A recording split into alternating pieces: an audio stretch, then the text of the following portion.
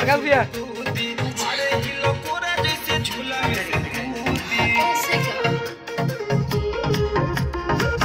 ऐसा जी। झूला में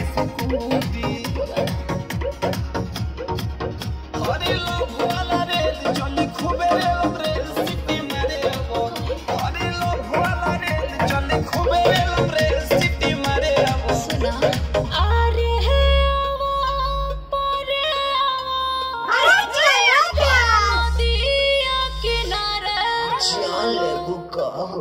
अरे बोल दिया भैया।